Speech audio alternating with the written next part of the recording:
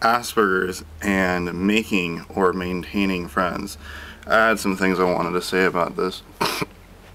I've read countless times about Asperger's that they have a hard time either making the friend in the first place, and if they do make a friend, that they have a hard time keeping that friend.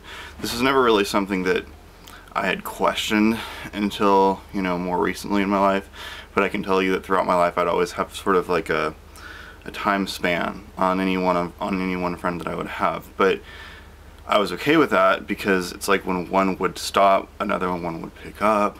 Um, I was also very shy and you know naive and gullible growing up, and I just have a word of advice to people that are like that.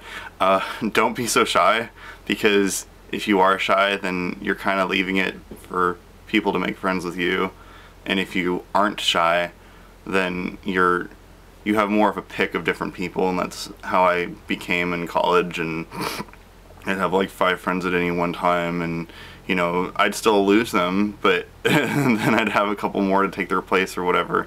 A big part of that was the acting classes I took and stuff, and in the confidence I got at boarding school before I started college. But anyway, I never questioned any of that, and I am in no way trying to throw myself a little pity party. I actually know that in my life I felt like I had friends for a very different reason than neurotypicals do. For me, I was just happy for whatever I got. I felt like I wanted life experience from my friends. I wanted to learn something about a, a different kind of person. And and even though I enjoyed the company of those people, I wasn't really sad when they were gone and I was someone that always really, really enjoyed meeting new people. I also wonder how big a part of that is because I uh, I went to private school for a few years and then I wrote a scary horror story and they didn't want me back and I didn't want to go back and suddenly was thrust into a public school and didn't know what I was doing and was I was really scared when I went to that public school and with the private school it's like there was 6th through 12th grade less than 100 people so that was that was a part of the shyness too. But anyway, um, they're supposed to have a hard time making or maintaining friends, and I've only gotten better at that recently. And like I said, my advice is to not be shy and to you know not put all your eggs in one basket, so to speak, with friends. And not only that, but have different interests. You know, uh, for me, all I liked doing growing up was video games, and it's not exactly a social thing. If I had been more like I am now with varying interests and hobbies, I definitely would have met more people. But when I was younger, I had a hard time with them.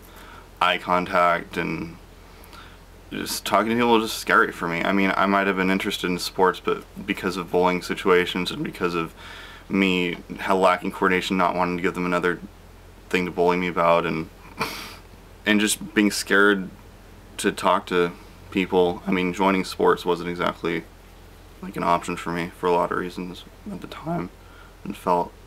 But anyway, I wanted to talk about that a little bit and I wanted other people to kind of give their feedback with them and what happens with them. I mean, I could tell walk through so many bad friends and it was usually me walking away, by the way. And I've also found that if you are someone that's gifted with kids, be friends with kids. I'll be friends with you forever.